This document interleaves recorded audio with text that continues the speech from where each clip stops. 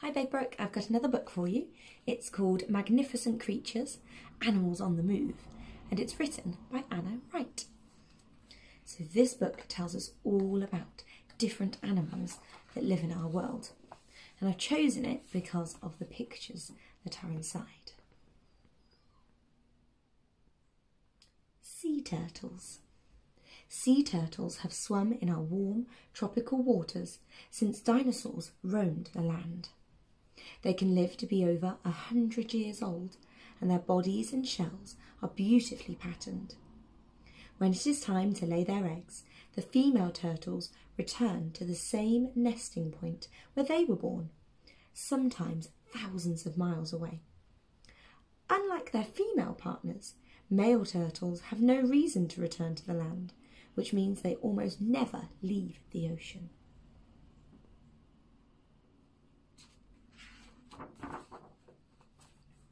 These are springboks. South African springboks are very social animals that form huge herds, sometimes tens of millions strong. When disturbed, springboks leap into the air with their legs extended, that means straight out, sometimes as high as four metres. This is called pronking. Springboks are one of the fastest land animals in the world.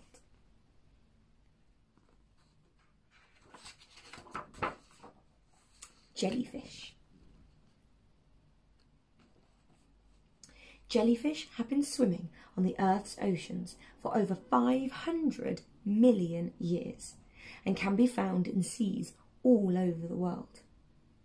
These creatures are beautifully translucent which means you can half see through them, half not, and, more through, and move through the water with incredible grace.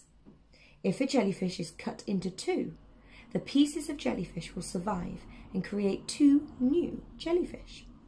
Some jellyfish can even glow in the dark.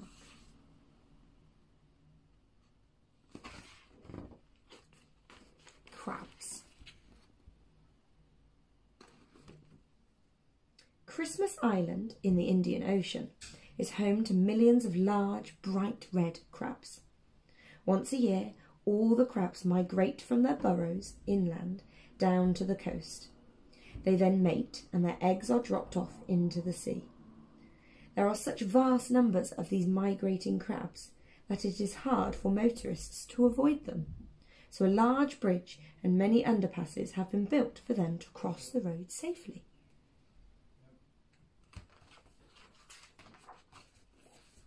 Zebra. Zebra cross the plains of Africa in search of places with plenty to eat, sometimes covering over 300 miles in one migration.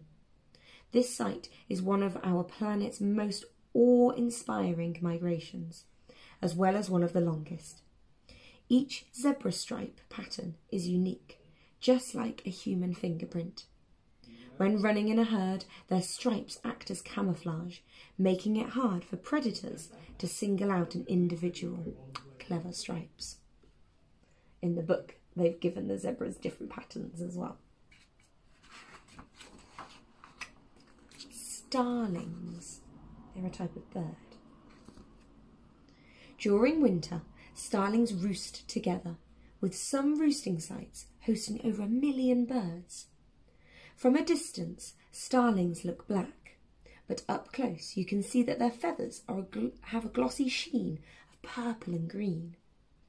Before they settle down for bed, flocks join together in a large swirling mass, creating beautiful swooping patterns in the sky. This incredible sight of thousands of birds moving together is called a murmuration.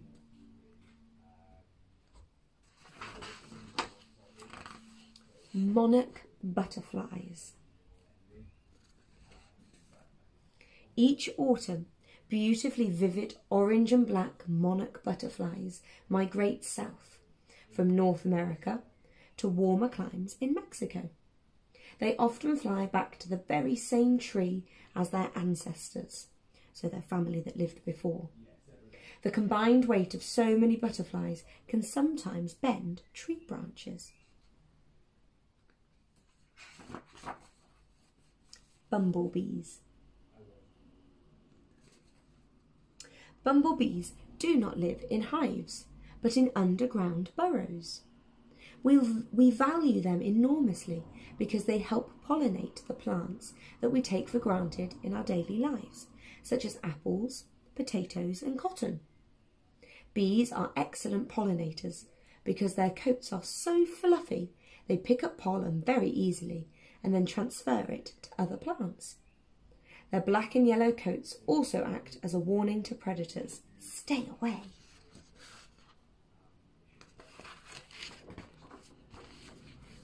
Snow geese. Huge honking flocks of snow geese are a sign of the changing seasons. They fly from North America as far south as Mexico for winter, often travelling in a V formation to minimise the um, oh, sorry, often travelling in a V formation to minimise the buffing of the wind. They will honk to encourage those at the front to keep up their speed. They also hold great affection for one another. If one gets sick or wounded, a couple of geese may drop out of the V formation to help protect it. Geese fly back to their northern breeding grounds for the summer. In fact, they spend about half of the year migrating to and from the winter and summer resting spots. Herring, they're a type of fish. When fish swim tightly together, it is called schooling. As one of the most abundant fish species, herring are also the most impressive fish to school, as they collect in such large numbers, up to three billion in one school. They group together like this to defend themselves from predators, as well as enhancing their chances of finding food and a mate. Imagine three billion shimmering silver herring magnificent.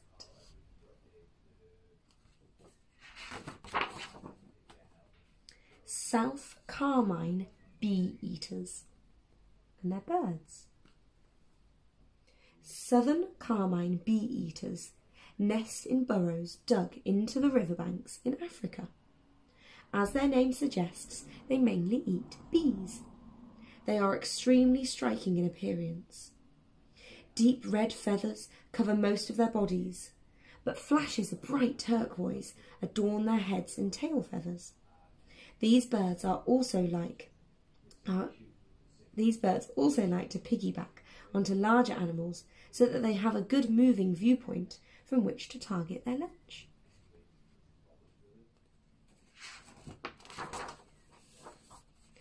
Fireflies. Male fireflies swarm together in their thousands in the hope of wooing a lady firefly. The male uses a mix of air and a special chemical in his body to create a flashing glow. If a female thinks a male has a, has a flashy enough light, she will flash back. The firefly's flickering is their own language of love. So when you are next out and about, keep your eyes peeled for magnificent creatures, great and small. See if you can spot them wiggle, shimmer or dance. You may be amazed by what you see. We truly do live in a magical world.